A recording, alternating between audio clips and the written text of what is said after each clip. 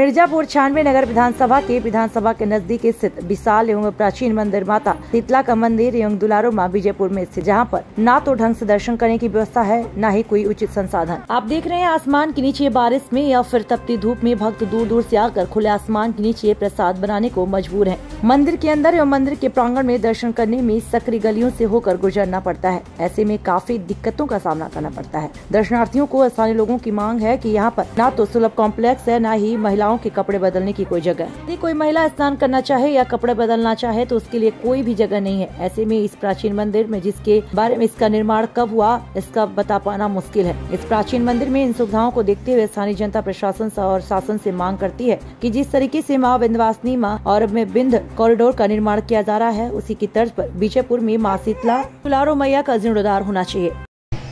नमस्कार, मैं प्रकाश are nine Bharat से इस समय मैं मौजूद हूँ माँ शीतला के धाम, विजयपुर। विंध्याचल थाना अंतर्गत आता है और यहाँ पर जिस तरीके से असुविधा असुविधा है यहाँ पर, लोगों को जो भी दर्शनार्थी आते हैं बनाने, खाने में उनको बहुत समस्या होती है प्रसाद प्रसाद से लेकर हर चीज़, उन्हें समस्याओं से जूझना पड़ता है। आप देख सकते हैं किसी तरीके की कोई व्यवस्था नहीं है, ना कोई टीन सेट है, ना कोई दिक्कत है। आप देखें, वहाँ पे महिलाएँ बर्तन धुल रही हैं। कैसे कैसे छप्पर छा करके लोग रह रहे हैं, सरकारी सुविधा के नाम पर कुछ भी नहीं है। सुविधा देनी चाहिए। जहाँ पर सरकार को क्या बिंद कॉरिडोर जैसे बन सकता है, माँ बिंदवासिनी के धाम में माँ बिंद कॉरिडोर बन सकता है उस उसी के तर्ज पर यहाँ पर भी जीर्णोद्धार किया जा सकता है मंदिर का। देखिए, इस तरीके से धूप में लोग बना बनाने और खाने में परेशान हो रहे हैं। यहाँ पर आकर के लोग बड़े ही श्रद्धा से यहाँ पर माँ माँ शीतला का प्रसाद बनाते हैं, हलवा पूड़ी बनाते हैं और चढ़ाते हैं माँ को। ऐसे में उन्हें सुविधाओं का सामना करना पड़ता है। ये इस मैं अपनी चैनल के माध्यम से सरकार से और प्रशासन तक यह लोगों की आवाज़ पहुंचाना चाहता हूँ कि ये इन सुविधाओं को लोगों को उपलब्ध कराया जाए।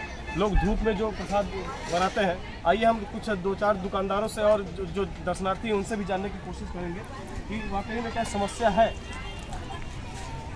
बाबा कहाँ से आए हैं? धूप में समस्या होती है नहीं? छप्पर नहीं छाया है बनाने बनाने के लिए कोई समस्या नहीं है। अच्छा गोपीगंज से आए हुए हैं। तो देख रहे हैं आप, यहाँ पे गोपीगंज से आए हुए हैं और समस्या है कि धूप लगती है, धूप में यहाँ पर खाना पीना बनाने में। देखिए, अंदर में मैं दिखाना चाहूँगा कितना कंजस्टेड है। थोड़ी सी जगह में ही लोग किस तरीके से एडजस्ट करके यहाँ पर बना रहे हैं। सरकार से एक मांग रखता हूँ मैं अपनी चैनल की तरफ़ से। यहाँ पर टीन सेट या कोई भी मध्यम माध्यम से यहाँ पर इसका जीर्णोद्धार किया जाए ताकि जो दूर दराज से दर्शनार्थी आते हैं, उनको ये सुविधा मिल सके और धूप न लगे। जी भाई साहब, कहाँ से इतना कम जगह में जो आप लोग यहाँ पे प्रसाद बनाने का कार्य कर रहे हैं तो समस्या होती है? नहीं होती है?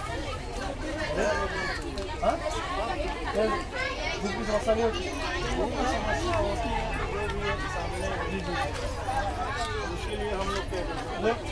समस्या तो होती है ना मतलब अगर जैसे बिंदु कॉरिडोर बन रहा तो यहाँ पर भी काम हो सकता है देख रहे हैं जिस तरीके से यहाँ पर दर्शनार्थियों की समस्याएँ हैं इन समस्याओं का निवारण बहुत ही ज़रूरी है मिर्ज़ापुर से आर नाइन के लिए ब्रह्मदेव के साथ और हम सबको भी सुविधा मिले। माई माता रानी का दरबार खूब अच्छा लगे। जी जी। जो आते हैं कम कम श्रद्धालु यहाँ पे साफ़ सुथरा मिले।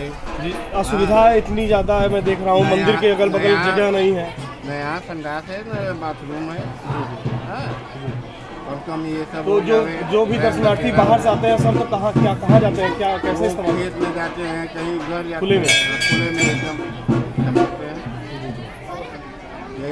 अधिकारी महोदय का बोर्ड लगा है वो किसका है तो बैगवा टाउन। ये देखिए यहाँ पर एक ग्राम विकास अधिकारी अरविंद कुमार सोनकर जी का बोर्ड लगा हुआ है।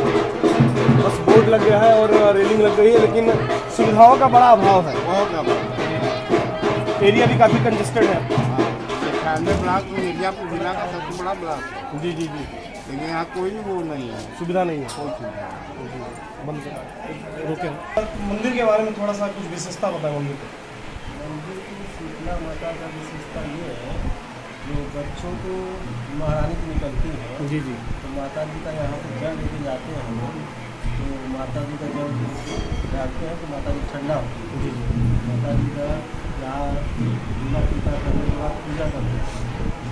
ये माता जी की कह रहे हैं यहाँ पर जो व्यवस्था इतनी है जैसे एरिया बहुत कंजस्टेड है साफ़ सफ़ाई भी बहुत ढंग से नहीं रहती है। तो ऐसे में सरकार से अगर कोई मांग करनी हो यहाँ के पुजारी के नाते तो आप क्या कहना चाहिए यहाँ के प्रधान से सब कई बार कहा गया कहा गया।